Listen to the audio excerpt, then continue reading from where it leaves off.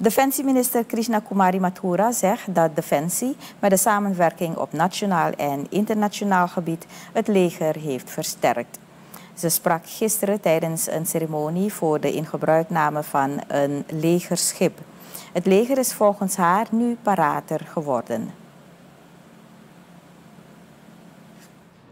Maar vandaag met deze lease to buy overeenkomst met Damen Financial Services Holding BV zijn we een relatie aangegaan die voor Defensie niet alleen nieuw is, maar die van cruciale waarde is.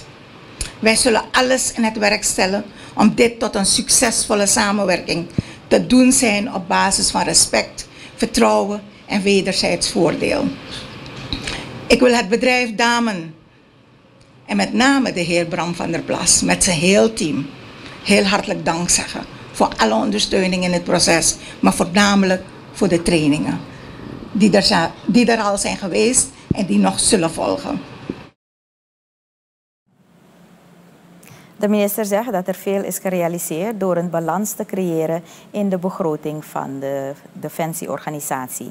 Ze stelt dat het team van het ministerie lukt omdat ze denken in termen van oplossingen.